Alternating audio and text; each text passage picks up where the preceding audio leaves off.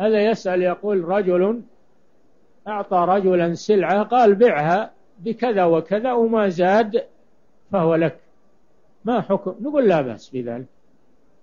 لا بأس بذلك لأن صاحبها رضي بهذا وحدد لك الثمن وأعطاك ما زاد عليه ما في بس هذا عن تراضي نعم.